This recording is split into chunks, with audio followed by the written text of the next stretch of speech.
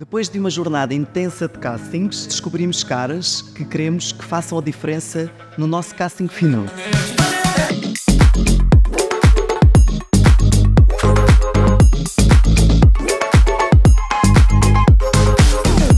Está a decorrer este casting para avaliarmos detalhadamente cada um dos concorrentes. Um dia dedicado aos homens e um dia dedicado às mulheres. Passa por fazermos uma entrevista individual a cada concorrente, de verificarmos as medidas a rigor, percebermos a sua condição física e de entendermos também a sua personalidade, a sua confiança, a sua atitude, são a diferença para decidirmos se temos concorrente ou não para o KPMT 2024.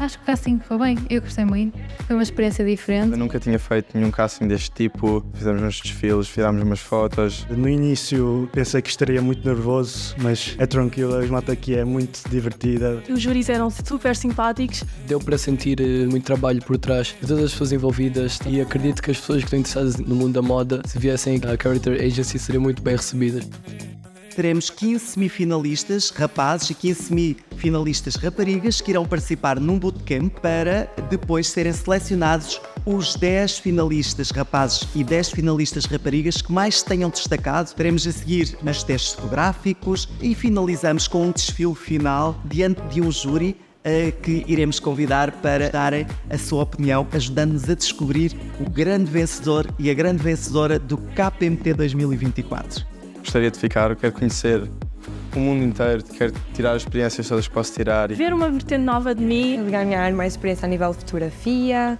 a nível de desfile. Acho que vai ser uma experiência muito boa. Além de querer conhecer mais a moda nisso, conhecer as pessoas, descobrir como é que funciona melhor a moda. Diferentes etnias, diferentes estilos, diferentes imagens, esse é o grande objetivo. Criar uma sociedade mais justa, mais equilibrada e eh, com oportunidade para todos.